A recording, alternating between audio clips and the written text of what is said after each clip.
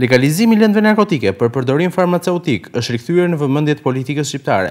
Mbi diskutimet e shumta se a është efektive që lëndët narkotike të legalizohen dhe mbjellja e tyre të kryhet nga individë apo subjekte të licencuara, ka hapur përsëri një debat publik.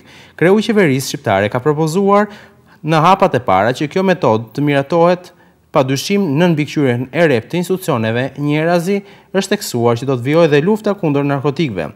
Për këtë çështje, qytetarët shprehen të dyzuar, edhe pse për disa është një gjë e mirë që mbjellja e kanabisit të kryhet e legalizuar dhe për të tjerë kjo është një gjë e gabuar, pasi ata mendojnë se ky proces nuk mund të monitorohet nga institucionet.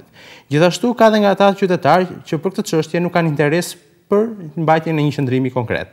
Ja çfarë mendojnë qytetarët e Pogradecit për këtë çështje. Po të jetë për përdorim farmaceutik, është shumë mirë. Në qoftë se e përdorin pastaj për gjëra tjera, normalisht s'është mirë. A mendoni se mund të monitorojë gjithë procesin qeveria shqiptare për këtë gjë? Asnjëherë, asnjëherë në botë.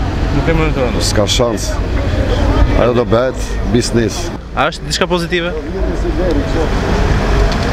Po edhe është edhe s'është. Pse nuk është? Po s'është se do hapin të tërë ta mbjellin. A mund të monitorojë qeveria këtë proces? Asnjëherë në botë. S'e monitoron bota jo këtu.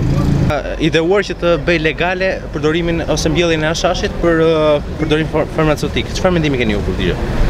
Nuk merremi ne me hashash, ore. Ne ne kemi punën tonë, shikojmë. Nuk merremi ne me hashash. Ku dim neve nga këto gjëra? Është është një mendim i mirë që të bëhet